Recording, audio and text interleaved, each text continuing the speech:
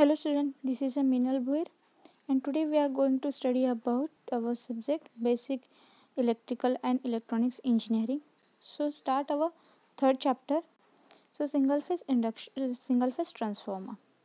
So in this chapter we are learn a single phase transformer, single phase induction motors and single phase all AC machines. So we guys start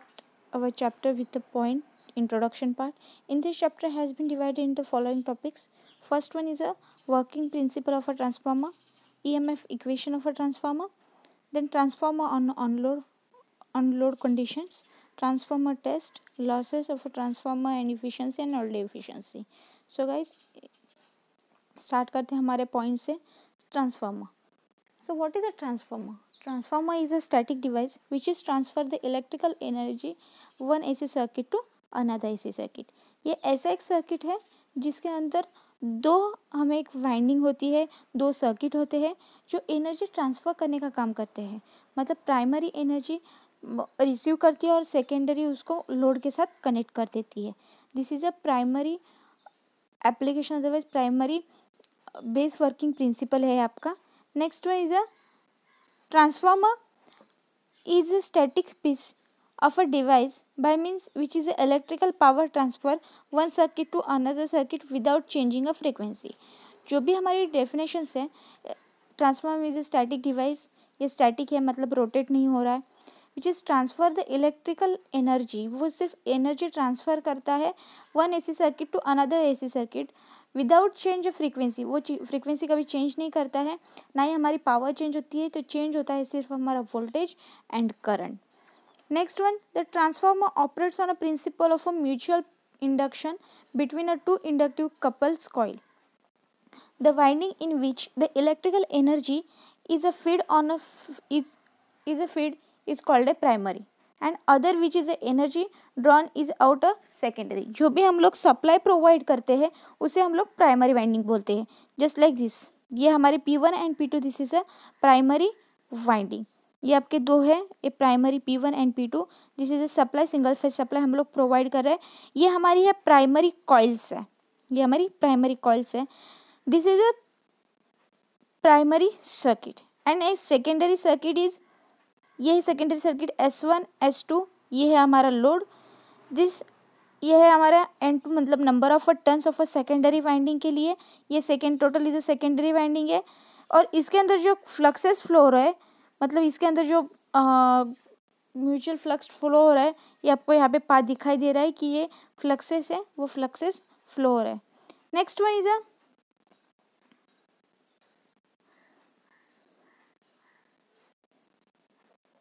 the primary windings has a number of a turns N one and secondary winding is a number of a turns N two is a indicate this is shown in a figure ये है आपका supply single phase supply primary winding n1 is a num primary number of photons and n2 is a secondary number of photons this is a core ये core है बीच की और secondary को हम लोगों ने यहाँ पे load provide कर दिया when alternating v1 is a apply when a alternating v1 is a apply to a primary winding and a alternating current i1 flow in a producing alternating flux in a core according to Faraday law of electromagnetic induction जैसे ही हमारे यहाँ पे according to Faraday's of electromagnetic induction की वजह से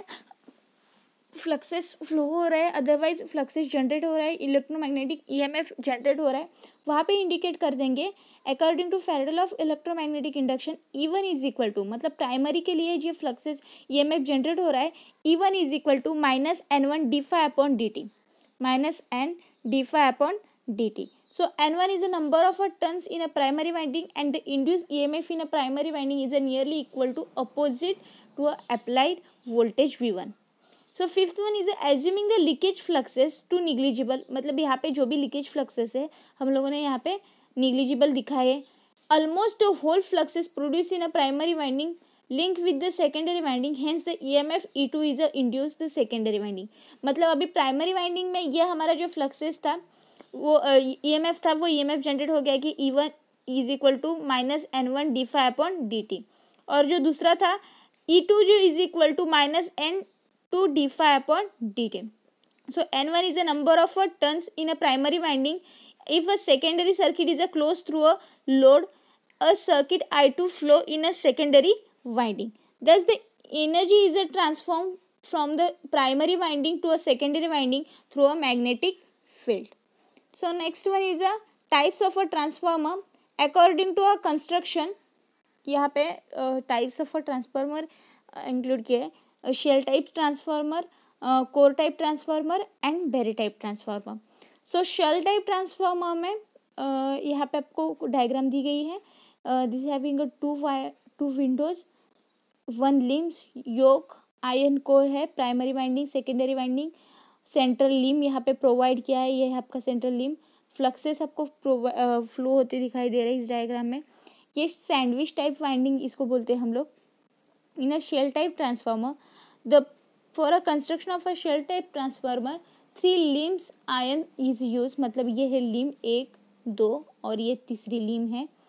Primary and secondary winding place on a central limb primary and secondary जो winding है वो प्लेस की है, हम लोगों ने एक सेंट्रल लिम है, उसके ऊपर प्लेस की है। First primary winding is a wound on a central limb with a required number of a turns when a insulating paper is a wrap on a secondary winding then the secondary winding is a wound over this paper it has a double magnetic circuit the I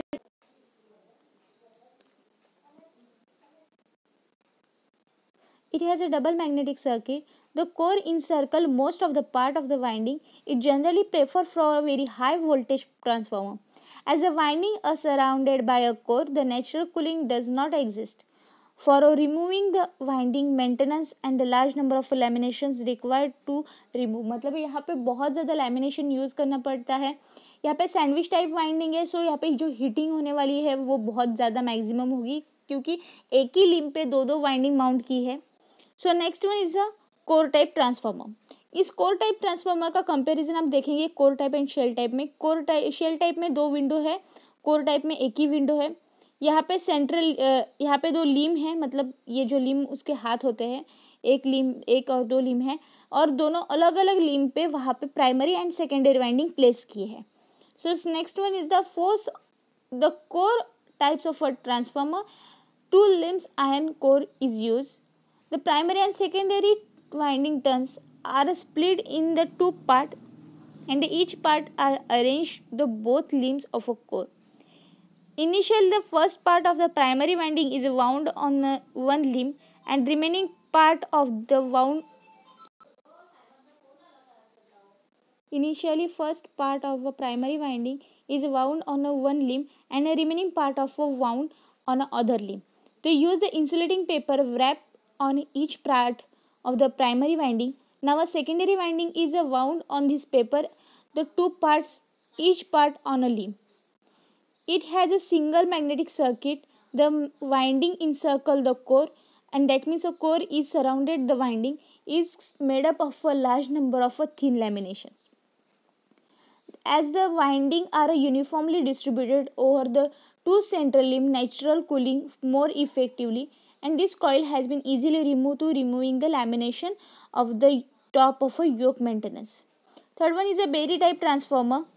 So berry type transformer यहाँ पे core है H V windings है insulations है और L V windings provide की है this has a distributed magnetic circuit it a core construction like a spoke of the wheel these transformer are generally kept in a tight fitted sheet the metal tank These tanks are fitted with the special insulating oil. The in, entire transformer assemble, assembly in a immersed in a oil. The oil serves two functions. First one is a kept in a winding cool by a circulation and provide additional insulation to a transformer. So another working is step up and step down and isolation transformer. First one is a step up transformer. When a transformer, the number of a turns of a secondary winding N2 is a greater than the number of a turns of a primary winding N1. Then the voltage available across the secondary is a greater than the applied across a primary. This is a kind transformer is known as a setup transformer where K is equal to N1 upon N2. This type of a transformer are generally used the generating power stations in a communication circuit HT transform EHT transfer extra high tensions transformer. Second is a step down transformer.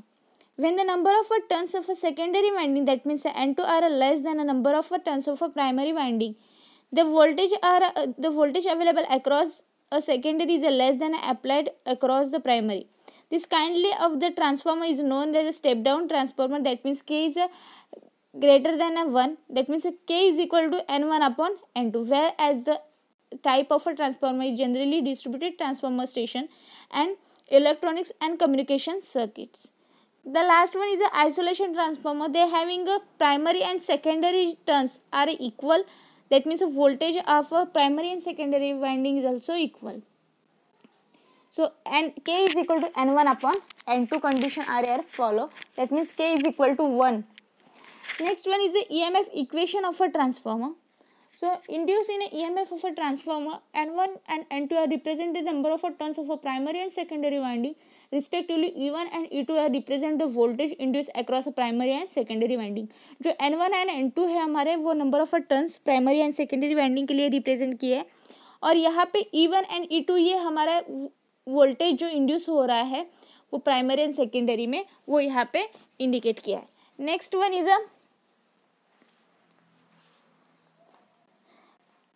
as a primary winding excited on a sinusoidal alternating voltage and alternating current flow in a winding producing a sinusoidal varying phi and a flux in a core that means a phi is equal to phi m sine omega t. As per Faraday law of electromagnetic induction, the EMF E1 is a induced in a primary winding. So E1 is equal to minus N1 d phi upon dt. So minus N one D phi upon D T वो five की जगह हम लोग, जो हमारा phi का equation है five is equal to five M sine omega T ये इक्वेशन हम लोग सीनोसिडल वेवफॉर्म का पुट कर देंगे यहाँ पे. So E is equal E one is equal to minus N five M omega omega cos omega T यहाँ पे हम लोगों ने इसका डेरिवेशन पुट कर दिया है. Next one N one five one omega sine omega T ये हम लोगों ने यहाँ पे इसका जो फॉर्मूला था फॉर्मूला कवर अप कर लिया। So two pi N two pi F N one five M sine omega T minus ninety so maximum value of the induce E M F is E M F is equal to two pi N one and five one so R so rms value are represented by e1 is equal to emax upon uh, upon under root of 2 that means uh, 2 phi two pi F one five N N one divide by under root of two और जो हमारा equation आएगा अभी equation E is equal E one is equal to four point four four F five five M N one this is a equation of a primary side and secondary side equation E two is equal to four point four four five five M and N two so also represented by a transformation ratio K so, as per the number of turns of a primary and secondary winding, hence the emf equal to the induced turns of a primary and secondary winding. So, जो transformer ratio है हमारा, वो transformer ratio आएगा कि अगर हम लोगों को के रिप्रेजेंट करना है so K is equal to N two upon N one ये हमारा ट्रांसफॉर्मेशन रेशियो हम लोग रिप्रेजेंट कर सकते हैं। Next one is a rating of a transformer So rating of a transformer indicate the output of a power. But for a transformer, loaded is not fixed and the power factor goes to a change. Hence the rating is expressed in the terms of a product of a voltage and current is called a VA rating. This is expressed in a KVA. So KVA transformer is equal to V1 I1 divided by 1000, V2 I2 divided by 1000. We can calculate the full load current of a primary and secondary winding from a kVA rating of a transformer. The full load primary side is equal to kVA rating into 1000 divided by a V1 and I2 is equal to kVA rating into 1000 divided by a V2. So next one is a ideal transformer so ideal transformer एक ऐसा transformer होता है कि जहाँ पे losses consider ही नहीं करते हैं, ना ही उसका सो जितना इनपुट है, उतना ही हम लोग आउटपुट कंसिडर करते हैं। So first one copper loss in a winding is a zero मैंने पहले ही बोला था कि इसका रेजिस्टेंस जो है resistance offer by winding is a zero that means यहाँ पे कोई भी कॉपर लॉस नहीं होने वाला है। Iron losses core iron core also a transformer zero मतलब यहाँ पे एक स्ट्रॉन्ग मैग्नेटिक मटेरियल प्रॉपर्टी का जो मटेरियल है, यहाँ पे यूज़ किया जाता है। और नो मैग्नेटिक लीकेज यहाँ पे कोई भी मैग्नेटिक लीकेज होता ही नहीं है। When a primary and ideal transformer is a connected to alternating voltage V one is a secondary open circuited the primary draw the very small amount of a current and supply this current is also called as a magnetic current this current is a purely reactive and lags the voltage V v1 by 90 next one is the v1 by 90 thank you